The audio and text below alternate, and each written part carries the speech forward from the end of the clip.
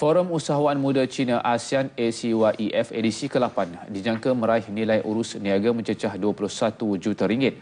Menurut Presiden Persatuan Usahawan Graduan Malaysia Datuk Muzamir Mustafa, ia bakal dicapai menerusi pengenalan maraton padanan perniagaan sepanjang forum dua hari itu. Beliau yang juga penganjur forum tersebut berkata peserta diberi peluang untuk membentangkan idea atau produk masing-masing bagi mencari pelabur yang berminat.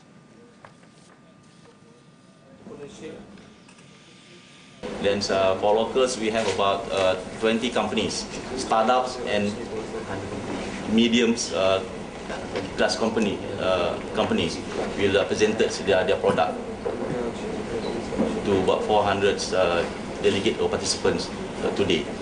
And for other countries, we allocate about three entrepreneurs for 10 minutes. Jelasnya ketika ini kerjasama perniagaan melibatkan usahawan muda tempatan ASEAN dan China dalam sektor pertanian, elektrikal dan elektronik, ENE serta pemindahan teknologi. Forum dilancarkan pengarah unit strategi nasional Kementerian Kewangan Dr. Aminuddin Hashim.